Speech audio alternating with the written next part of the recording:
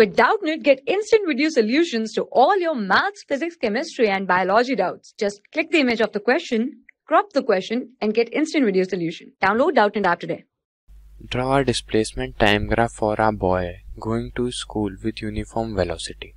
So we have to draw a graph between displacement and time and showing a boy is going with a uniform velocity so the graph will be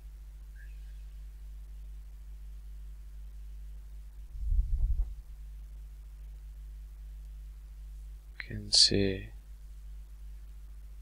the displacement.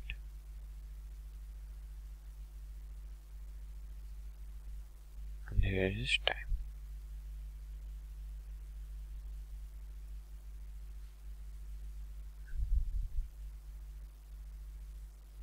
so the uniform velocity will be straight line.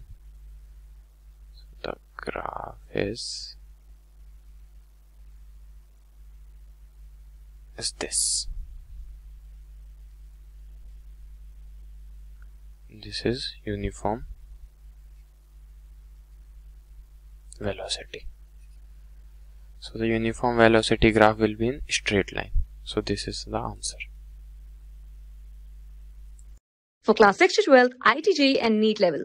Trusted by more than 5 crore students. Download Doubtnut app today.